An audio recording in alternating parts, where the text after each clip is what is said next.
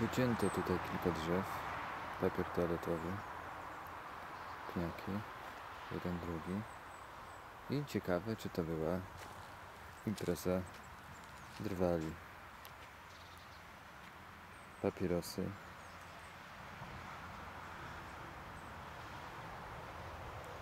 Puszki po piwie.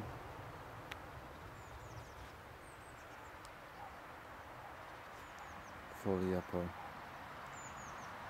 puszkach z, z piwem. I proszę bardzo. Ktoś się tu też załatwił, podtarł i zostawił chyba komuś na później.